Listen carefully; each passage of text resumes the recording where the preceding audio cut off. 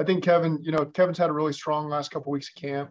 Um, he's been consistent. We know where we're getting there.